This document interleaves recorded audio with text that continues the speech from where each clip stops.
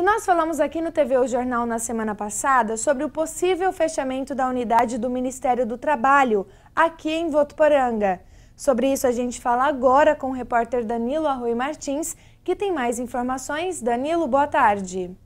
A agência do Ministério do Trabalho aqui de Votuporanga continua funcionando normalmente. Eles aguardam a portaria do governo federal para fazer o fechamento. Ela funciona de segunda a sexta, das 8 da manhã até as 4 da tarde, aqui na rua Ceará, número 3455. No momento, eles estão realizando trabalhos como, por exemplo, seguro-desemprego, retirada da carteira de trabalho e também recurso de seguro.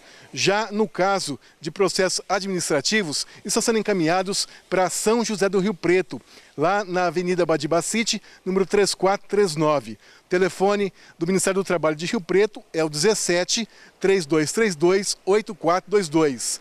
3232 8422. O agente informou que tudo por enquanto está normal. Como eu disse, vai funcionar até que seja é, feita uma portaria do governo federal para que se determine o fechamento aqui da agência do Ministério do Trabalho de Votuporanga. Qualquer dúvida, você pode entrar em contato ou vir aqui na sede, que fica na rua Ceará, número 3455, no centro de Votuporanga nós conversamos com a presidente do Sindicato dos Comerciantes de Votuporanga, Alia Marques, para saber sobre a posição dos sindicatos sobre essa questão do fechamento do Ministério do Trabalho aqui em Votuporanga. Eles realizaram uma reunião e já estão se mobilizando em relação a esse assunto. Vamos ver.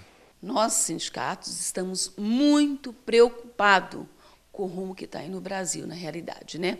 Mas a gente está preocupado com os trabalhadores. E aí, que que os onde os, os trabalhadores vão fazer, né? Tirar suas dúvidas. Tudo bem. Quem tem sindicato, ok, tem um sindicato. E quem não tem? É como diz, qualquer uma coisinha mínima vai lá no Ministério do Trabalho, o Ministério do Trabalho daqui resolve. Agora você vai ter que deslocar até Rio Preto. E, e nós estamos realmente preocupados, tá? Já, já conversamos com os nossos deputados da região, o Mota, né, que é da nossa categoria de comerciários, já oficializamos, já vamos marcar com o superintendente do Ministério do Trabalho em São Paulo, para ver se a gente consegue não, que isso não aconteça em Votuporanga. Porque hoje nós temos a sede própria do Ministério do Trabalho, que foi conseguida na época pelo nosso deputado federal, o Dado. Tá? Então nós vamos lutar. A gente tem que lutar, a gente não pode aceitar as coisas de braços cruzados. Porque a maior perca, perca hoje é dos trabalhadores, eles vão ficar descalços. E como você disse, você vai dificultar ainda mais numa questão, por exemplo, de uma rescisão de contrato. Com certeza, onde ele vai conferir a rescisão de contrato dele?